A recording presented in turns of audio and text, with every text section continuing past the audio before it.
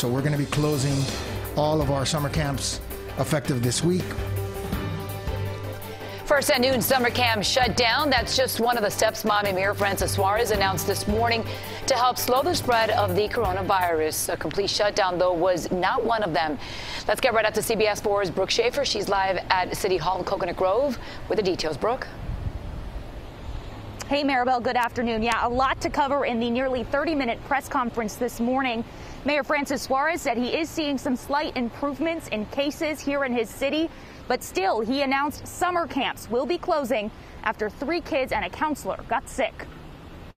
We had um, one child infected in uh, Henderson Park, two children infected in Coral Gate Park, and one in one counselor infected in Shenandoah Park. So we're going to be closing all of our summer camps effective this week. Joining Miami Dade County and the city of Miami Beach, summer camps in the city of Miami will now close, Miami Mayor Francis Suarez announced Tuesday morning. For the moment, the hospital administrators who are monitoring capacity, as well as our specialists, our epidemiologists, and our biostatisticians, are telling us to maintain the course.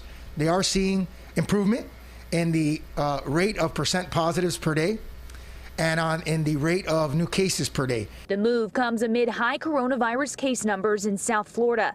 The mayor at this point has not issued another stay at home order for the city of Miami, though he did say it's a daily discussion. That's something we're looking at legally. Uh, we're also um, monitoring social media, and I get a lot of social media uh, posts about illegal parties and things of that nature. And that's why we also have an enforcement team now that's going to be dedicated just for enforcement uh, for 39 police officers. And this week we're going to be enforcing heavily. For now, Mayor Suarez says he's focused on beefing up enforcement on people not wearing masks. The mayor even said his office is looking at something Broward County did in banning parties or gatherings of more than 10 people in homes. So, folks, we must be extremely careful when we get home.